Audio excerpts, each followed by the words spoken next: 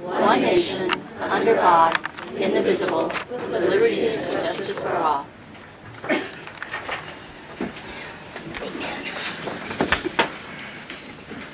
On to item two, now have a motion to move into executive session. I make a motion to move into executive session. Do I have a second? I'll second it. All those in favor? Aye. All those opposed? Motion carried. At this time, we'll be moving into executive session. If everybody could please, um, any of our exiting outside would be adjourned. I think it'd be easier if they left.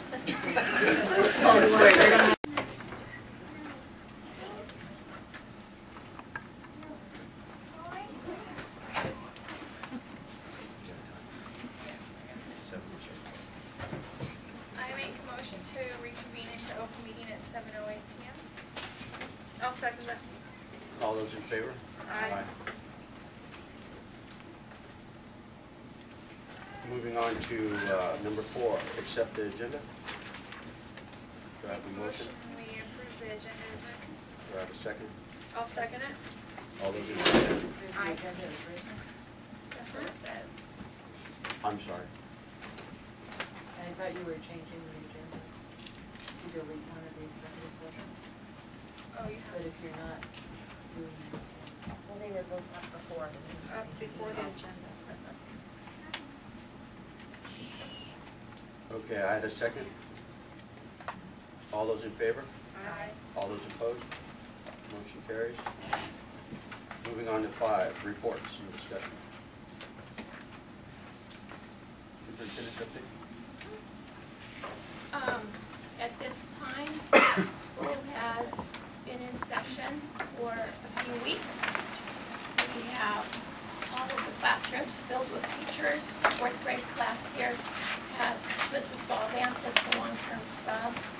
And we continue to, um, accept applications for that position. And we will be interviewing when we have some, um, applications that would be um, acceptable to the school district. I just finished the law conference with Monica Timberlake last week, and we attended a lot of different sessions. One of the big things um, that they talked about was implementing the Common Core and the teacher evaluations across all of the districts in the state. We also had some information about Senate Bill 1070 again, which deals with um, the, the law that allows police officers to stop and inquire about people's legal residence and their legal status. And? Um, just that ASBA has all of the materials on their website, so for the rest of the board that didn't go, you can access all the presentation. That's all available, and there's some really good information in there. And they, they sent that out before the meeting also, that you can go in and look at that. Thank you.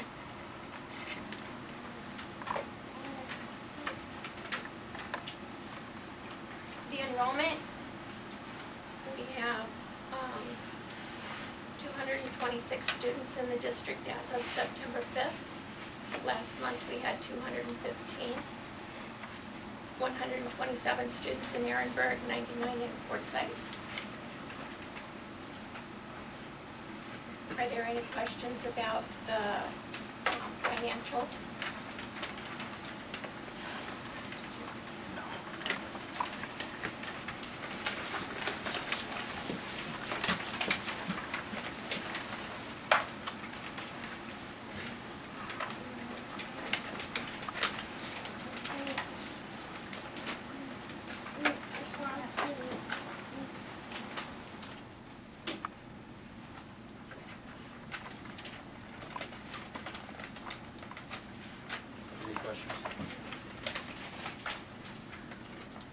Moving on to four.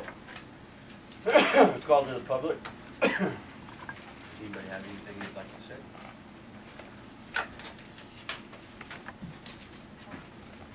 All right, moving on to, Um, I think that there are some oh, people in the audience that, if you filled out a call to the public forum and would like to to Mr. Rayner,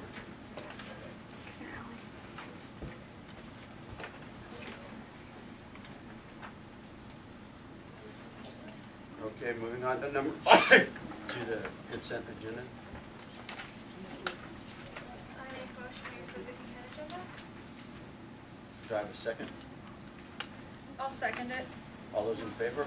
Aye. All those opposed? Motion carries. Moving on to number six, unfinished business, discussion and possible action. A, update on SFB and APS solar panels. Um, the school facilities board installations have been completed, and I signed off on those probably, oh, about three weeks ago.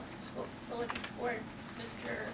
Gray, Dean Gray, I think his name is, came out from school facilities board and brought the two notebooks with all of the specs and everything for each school, so they are housed in the office of each school now. And we are currently seeing, um, the information on your financials of how much kilowatt hour usage is being taken off, I believe. So, we've got that wrapped up, and then APS, I'm just waiting to finalize paperwork and everything with them and get the information for either reducing or freezing our rate for the next twenty years. So I'm not sure how that will work, but I've been told that it will probably involve a rate change.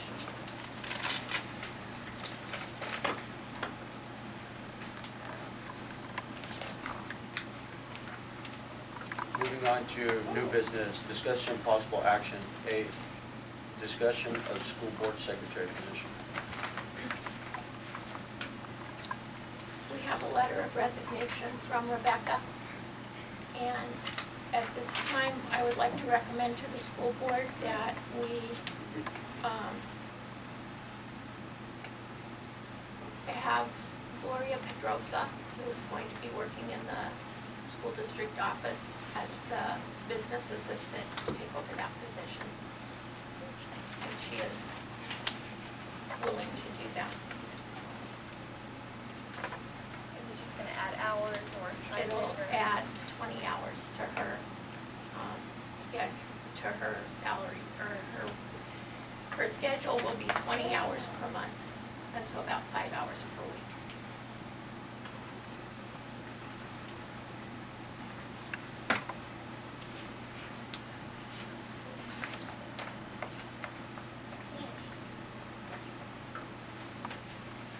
Any other questions on the position? I just wanna make sure that since the, the, the the stipend that was being paid will stop being paid as of the effective day of the resignation. That, that was not a stipend that she had, um, the board voted to place her on a salary rather than hourly wages. Okay, And so she, at this time, we can go back in and, and, you know, recalculate that for that twenty hours a month. And she understands that. then do we need to do that as an agenda item for I future? don't think or so. we just do that? Yes. I make a motion that we accept Jackie's recommendation for Gloria Pedrosa as the new school board secretary. Do I have a second? I'll second it. All those in favor? Aye. All those opposed? Motion carries. B, presentation of AIMS test results, district status, student achievement, and school accountability.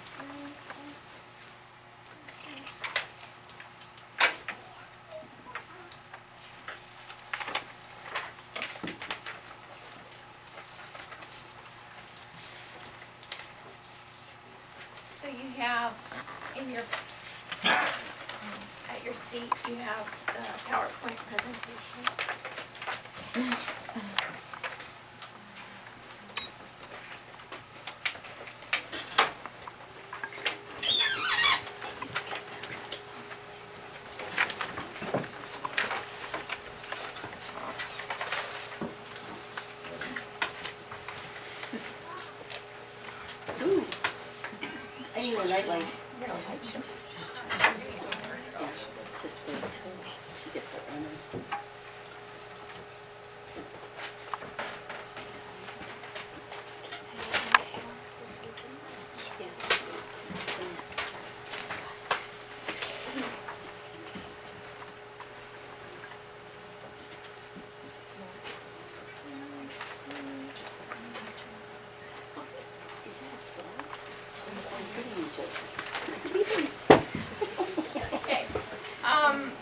involved in something called the superintendent seminar. Thank you.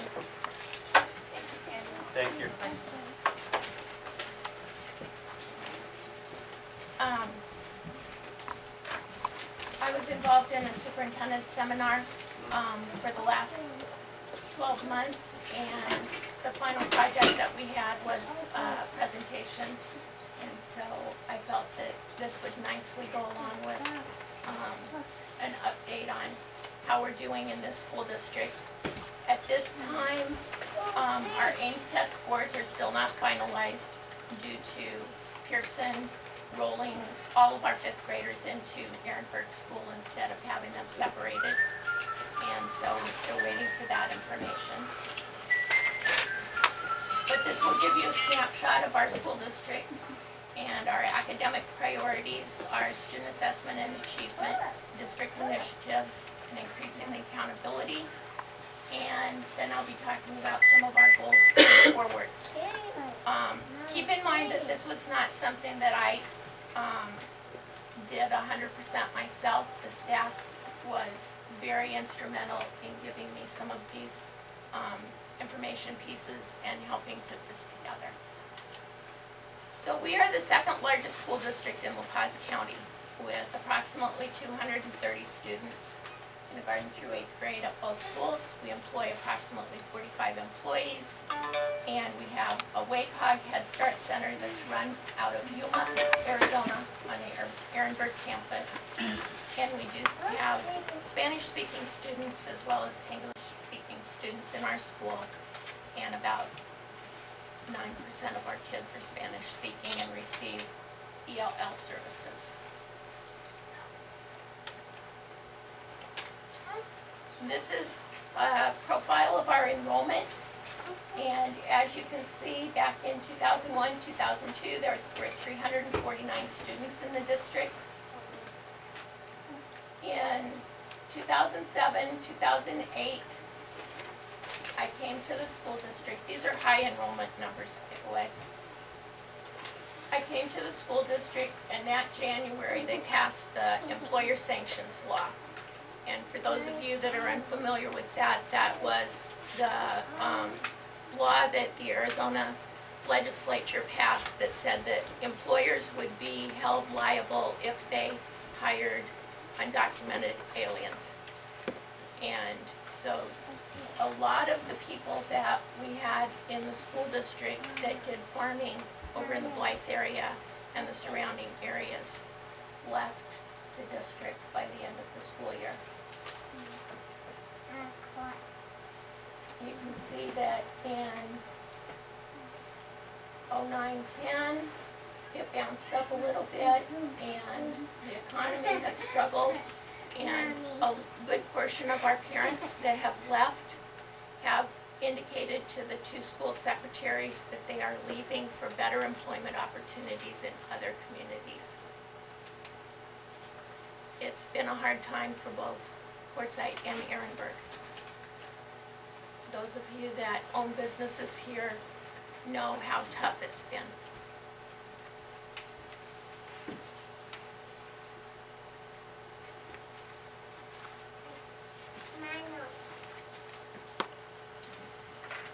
We do use student assessments. We give annual assessments every, every year in all the grades.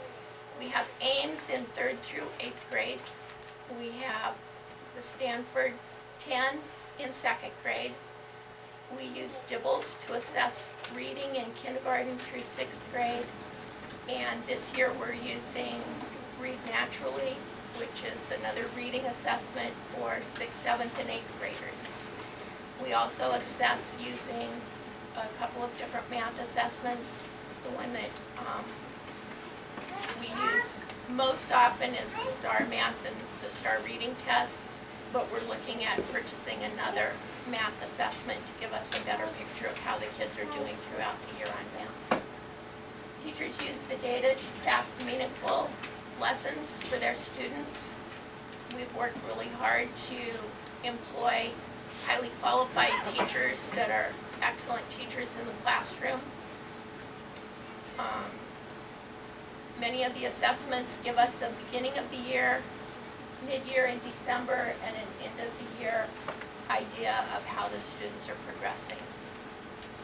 And we will be continuing to work on improving the data that the teachers use to make sure the kids have lessons that are appropriate for them and also help them learn the Common Core state standards that we are now moving to in the state.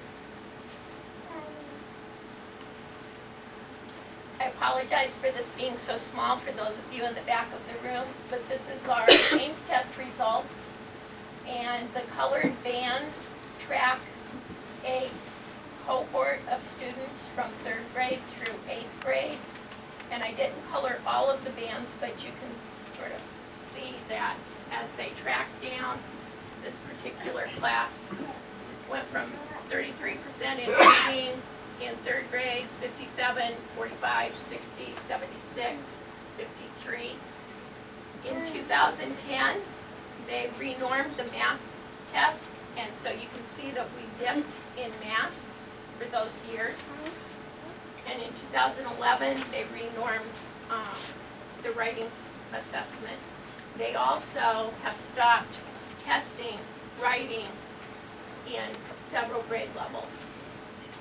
We now test science in both fourth and eighth grade. So we have been improving, we've been improving slowly, but as you know, um, you may not know this, the state, um, defines their test scores in terms of how the entire population of students in the state does on the test scores.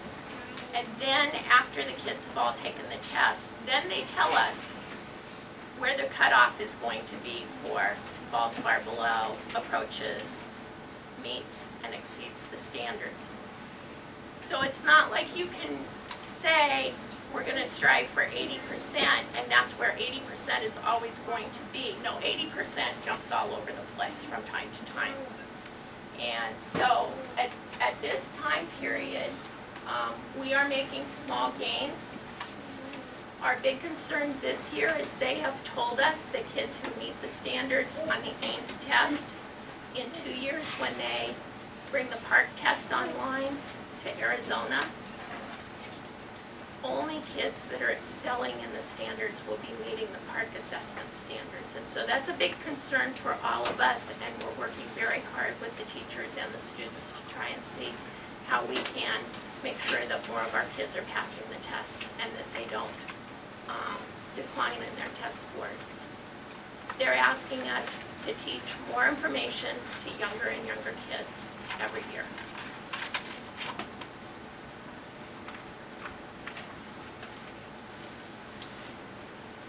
In curriculum and instruction, we do use uh, best practices that are research-based, and the Common Core state standards have been adopted by 44 states, and Arizona is one of them. And so we will continue to be using them. As parents, if you would like to see what those are for your student's grade level, you can go to the Arizona Department of Education website and they have them all listed there. They also just put up a Common Core state standard um, section on that website that has a lot of resource materials and information for parents. We have given um, additional assistance in special education and reading this year to support our instruction.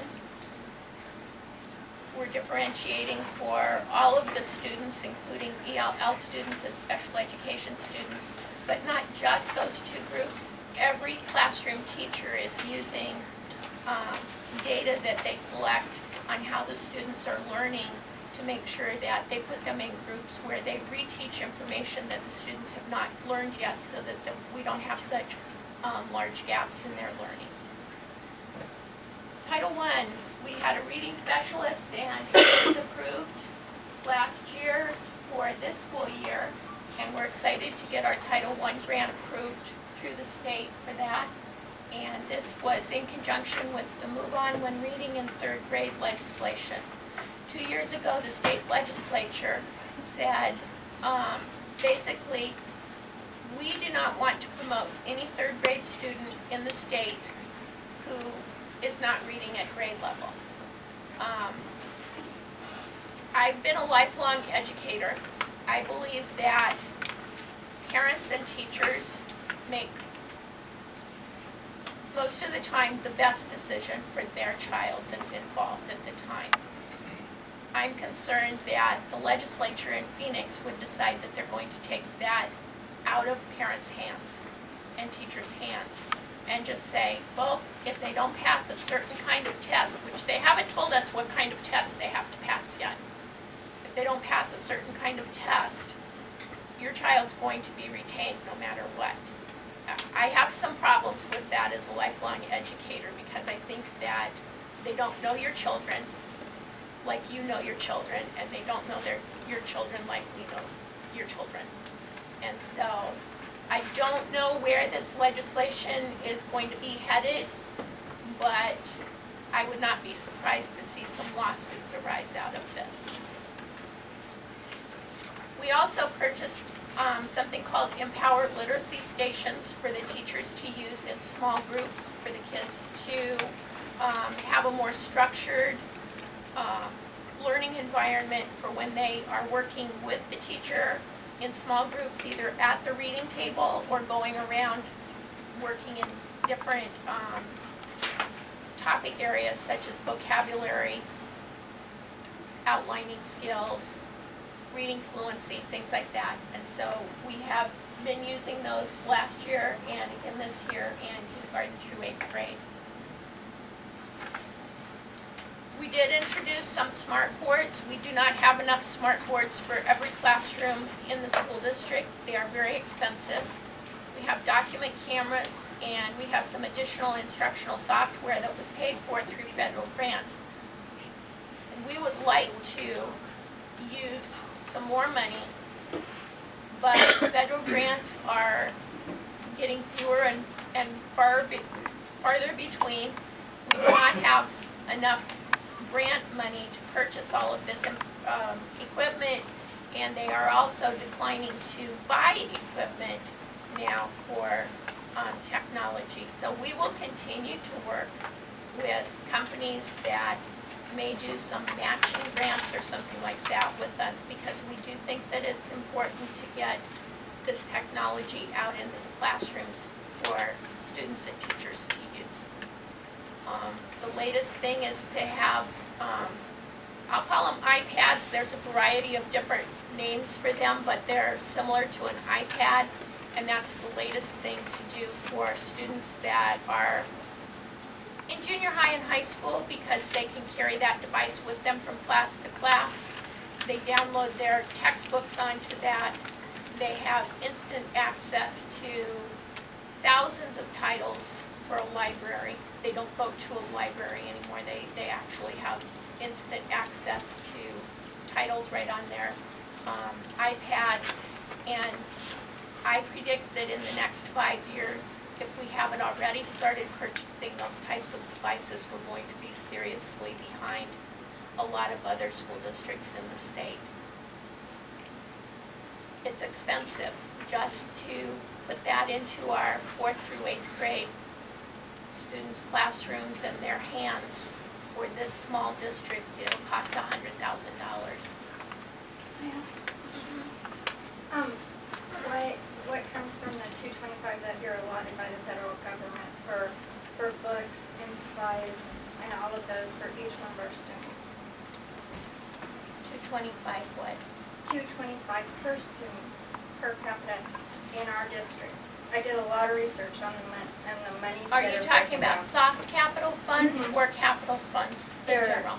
They're, um, general from the, um, If governing it's- board. If it's soft capital money, soft capital has been reduced over the last three years, and most of our soft capital goes to the bus lease.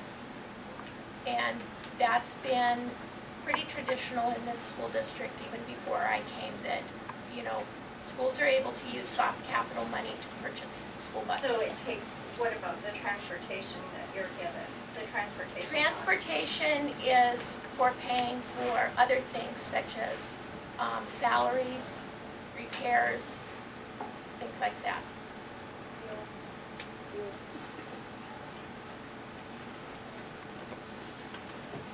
You know, supplies for that. And so, um, but I'll be happy to talk more with you about that at some point. Yep. Um, so getting back to the curriculum and instruction, teachers also have begun to conduct peer observations, and this helps them communicate better to each other about what they're seeing in the different classrooms. They get to go into the class and learn new techniques from other teachers. They also get some assistance. If they're a new teacher, they might be paired up with uh, an experienced teacher and get some some um, assistance in um, teaching the kids in a different way. And it's part of our 301 monies that we receive from the state, peer observations are.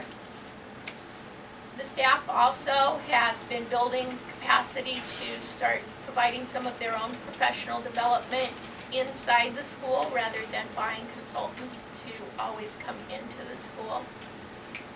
When the first year I was here, because of the school improvement status that the district was in at the time, they spent a lot of money and had over 40 days of consulting days that they were coming into the district. Last year, we were down to about 15 days that we had people coming into the district. And so that all helps us save money and put that back into the classroom for the kids. Professional learning communities were implemented last year and they're continuing this year to sustain school improvement gains. And the professional learning communities, those are recognized um, avenues of sustaining change in school districts. And that's all driven by the teachers themselves. They meet once a week in small groups to talk about um, how to best meet, meet the needs of their students, any kinds of organizational things that need to be done. They plan events and things like that, so I try to attend as many of those as I can. And then this year, for the first time, um, along with our new student information system that we um, began using, we will have standards-based reports cards in kindergarten through, um, kindergarten through fifth grade, I think. And so you'll see a lot more information on your child's report card if they're in kindergarten through fifth grade. And then sixth, seventh, and eighth grade, we don't have access to a lot of standards-based things for that age level, so it'll look a lot more traditional.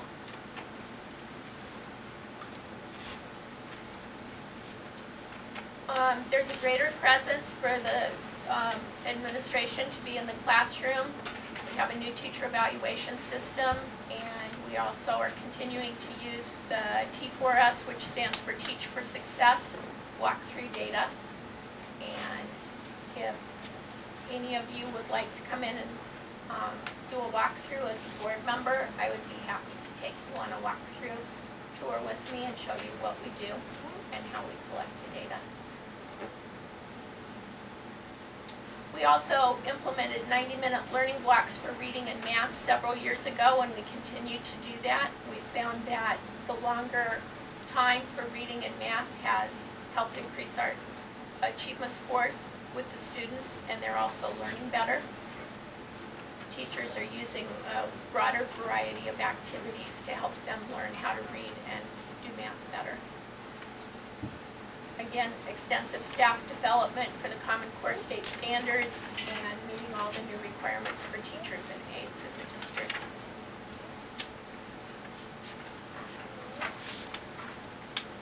We are going to be focusing on school and community partnerships. Um, We have been encouraging the teachers to go out and contact community groups. I've been contacting groups to promote the schools. Um, we will be scheduling meetings for Title I. We have, um, macro in our school, which is a math program. We'll be having math nights for some of the parents that their students are participating in that, but we want to extend it to other students as well. And our Title I reading teacher has indicated that she would like to start having literacy nights for parents to come and learn what to do with your students to help them read better. The macro program is um, funded by a company called the Rodel Foundation. It's a philanthropic organization out of Maryland, but they fund substantial amounts of programs here in Arizona. It started out four years ago. They offered it to both schools, but the stipulation was that the teachers had to agree to do all the things that they were asking them to do with the macro program. I couldn't just say, teachers, you're gonna do this whether you want to or not. The teachers had to agree to it. And so I had two teachers in Ehrenberg that agreed to it, and at Quartzsite, the teachers said that they would rather sort of take a back seat and see how it worked in Ehrenberg first, because it was a new program. And so, um, we have extended it one grade in Ehrenberg each year. And because the teachers in Ehrenberg were able to be successful with the program, I've been asking for several years for them to incorporate it into Quartzsite, and this is the first year that they've been able to make that financial commitment to Quartzsite, and it will be in first and second grade this year. And so we will be having that in Quartzsite. Parents in first and second grade will see a booklet come home each night. They do have to sign off after checking the, the homework with the student to see what they're doing in math. And the data that they collect shows that math achievement increased in the schools that used it faithfully with their students. And so that's, that's one of the things, is that the teachers have to agree that they will do everything that the program asks them to do. And then we are going to be asking parents to um, help us with that program so that the, the students value that as part of their work in school. Is that starting soon, or? It will, the first booklets will come out in October. It runs October through April, and we'll have a parent night over here before we start that. Mhm. We also continue to publicize events in the local papers and our website. At this time, our um, IT coordinator has resigned, so we're going to try and keep the website updated as much as possible. We have community participation. We'll be promoting the community and parent volunteer programs in the schools, and that will begin this month. If, if you um, would like to volunteer, just let the teacher know, and they'll be sending home a packet of materials for you to read. And then we will continue to have our award ceremonies, open houses, and special programs the community members are really great about attending a lot of those things. It doesn't matter that they don't have children in the schools, they like to come and see what the kids are doing.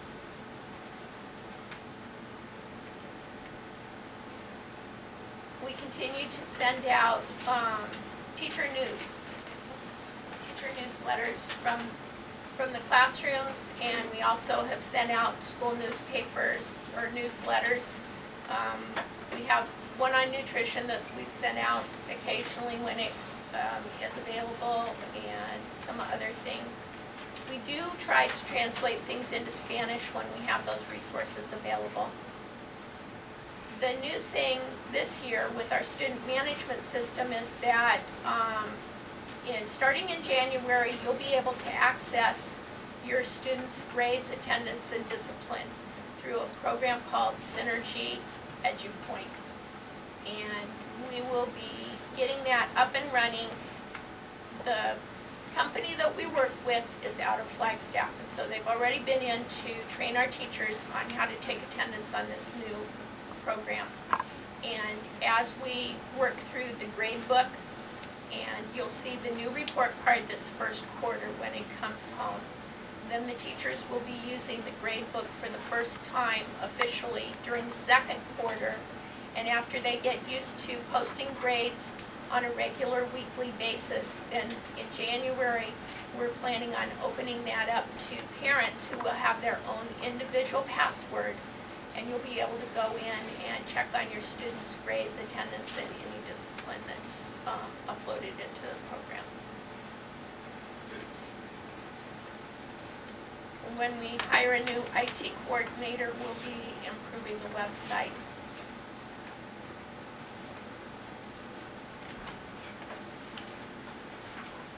We are hoping to have pre-registration for students this spring and getting a lot more parents to come in and pre-register their students. It's very difficult to plan for how many teachers we need when everybody shows up two weeks before school starts to register their students that are new. And so anyone who lives here, if you can help us get the word out to pre-register students next spring, that'll be helping us to plan for the following school year. We also are looking at starting a fall and spring student showcase to celebrate students' work. I know a lot of times you as parents, you see papers come home here and there, but it'd be nice to come in and see how the work looks like for everybody. It'd be really nice. So we're hoping to start that this year. And then I'd like to start sitting down with students, staff, and teachers just informally to discuss things and also have accessibility and better response times. So the students, a lot of times, they, they have great ideas. And then we had a town meeting, so to speak, on transportation here not too long ago. Hot topics that are coming up. Um, I think I heard loud and clear how the parents felt about the transportation issue. That's what I needed to know.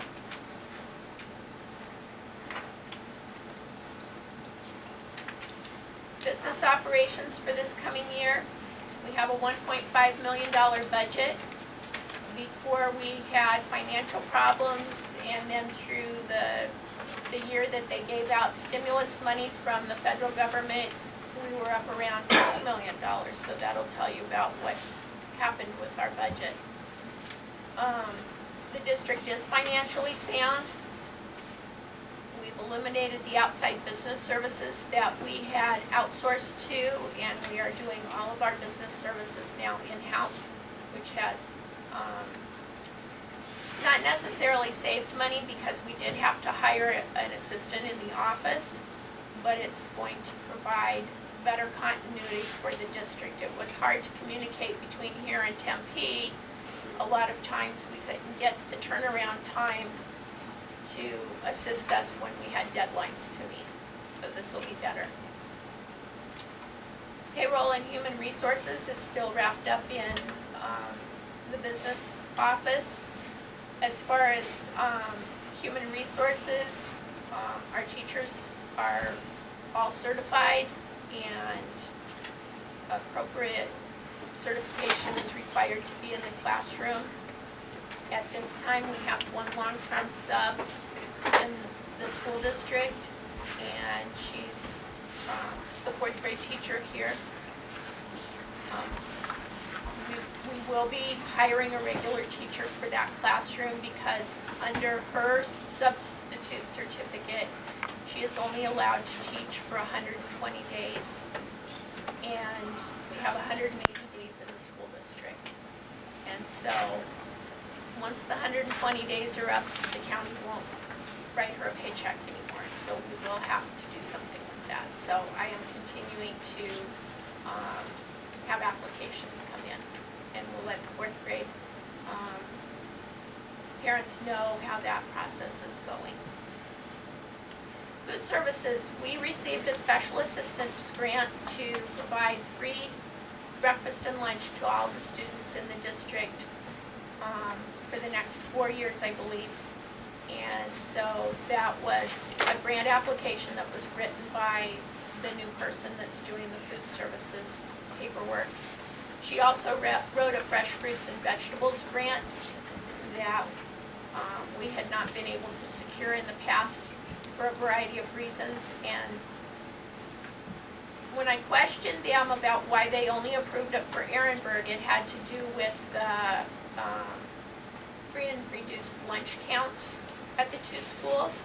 But we have made arrangements to buy whatever fresh fruits and vegetables are being bought through the grant. We're also buying them for Quartzsite schools so that all the kids in the district get uh, Tuesday and Thursday nutrition break where they get a variety of fresh fruits and vegetables. They learn about the fresh fruits and vegetables and why it's important to eat healthy. And so that's a new program that we started. Facilities maintenance, right now we have a bus driver on maternity leave, so everybody in facilities and transportation is doing double duty.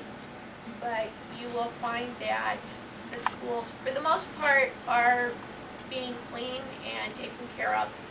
And any small minor problems such as not having the sidewalks blown off or something like that, we're trying to deal with as we can.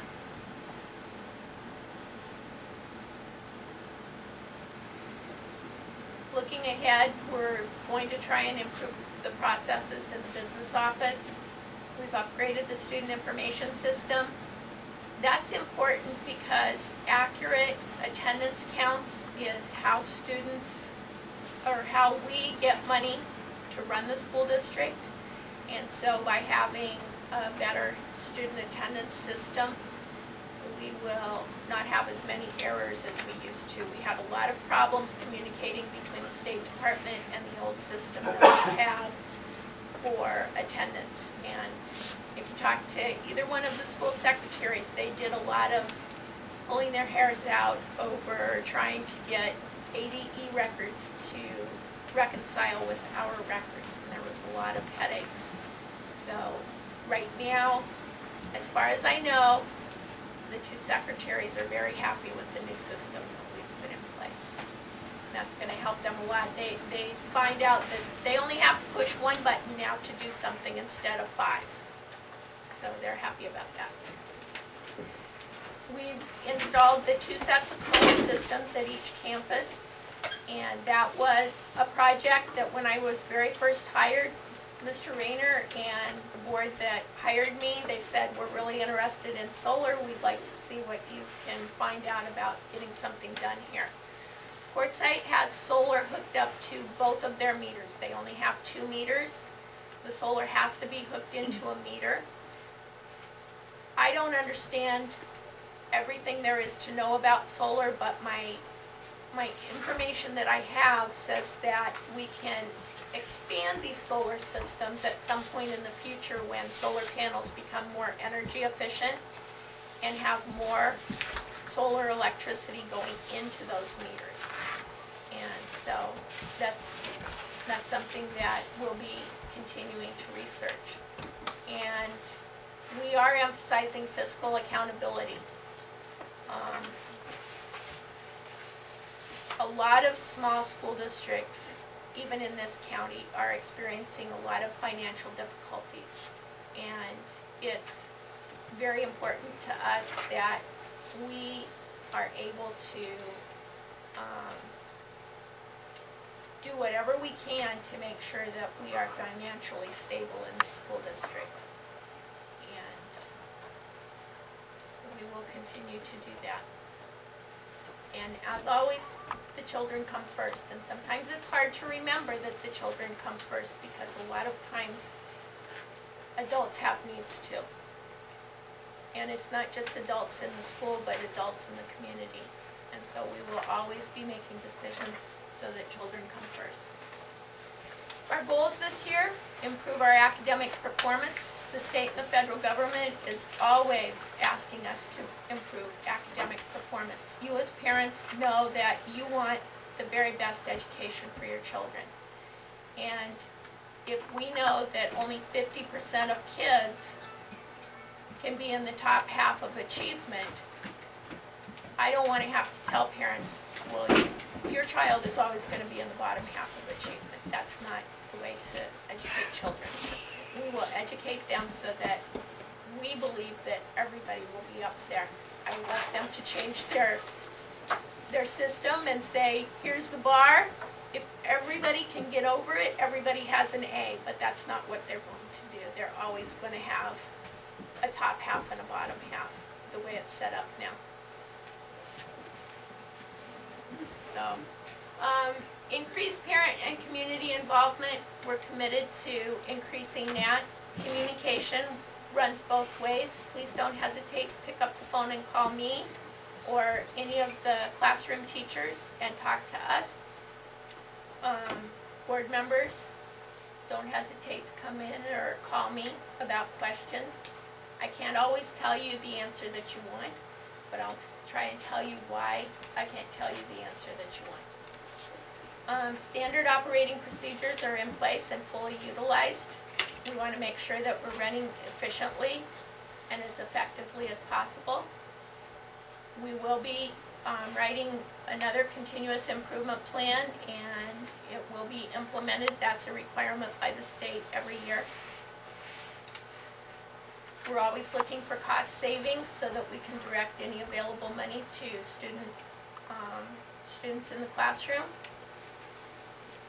The federal and the state government have created a new culture of accountability and we will do everything we can to meet those requirements and exceed them if it's possible. And the last thing is that the staff would like to implement a semi-annual event in each school attendance area on a Friday afternoon to meet with staff, governing board members, and parents to continue building positive relationships. Because we, we can't run the school district without parents and community members. And it's very important to maintain those positive relationships. It, it affects all of the kids in the schools. So, any questions from the board? Do you have letter grades for each school?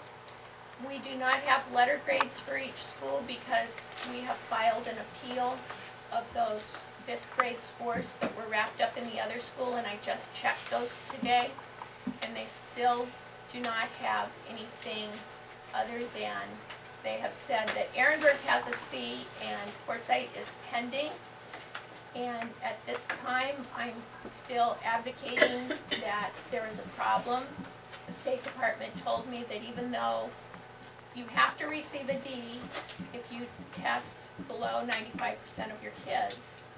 And that because those fifth grade students in Quartzsite were wrapped up in Ehrenberg, they said that Quartzsite only tested eighty-nine percent of their students, when we already know that we tested close to hundred percent of the students here. They're saying that they don't think that a change needs to be, be made. I'm still advocating for the school district that a change does need to be made because we had more than eighty-nine percent of our students test in Quartzsite. So no, I've been told that they have not been finalized yet.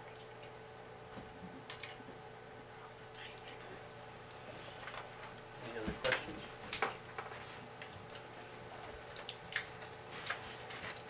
Thank you. Thank you. Moving on to eight, agenda items for future consideration.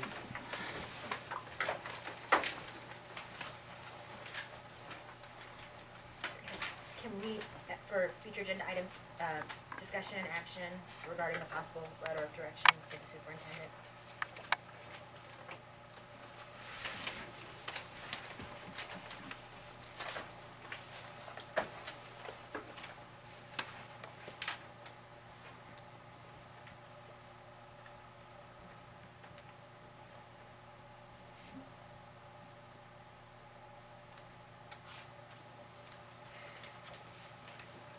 Anything else that needs to be on the agenda and possible action for next month?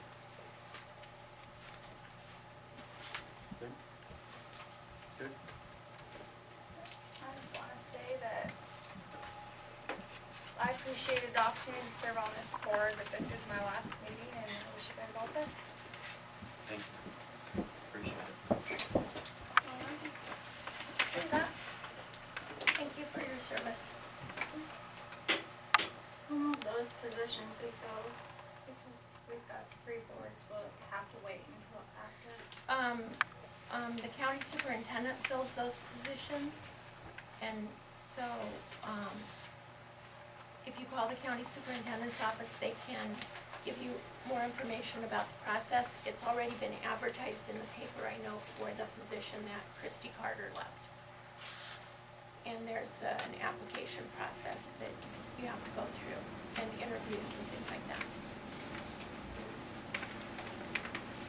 Anything else from the board? Do I have a motion to adjourn the meeting? How much should we adjourn the meeting? Do I have a second? I'll second. The meeting is adjourned at seven fifty-eight. Um, well, we have. Oh, I'm sorry. All those in favor? Aye. All those opposed? The Motion carried. Thank you, guys. Appreciate it.